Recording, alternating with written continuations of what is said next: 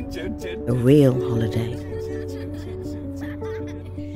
is precious time. It's everything that every day isn't. It's escape, adventure. It's who you go with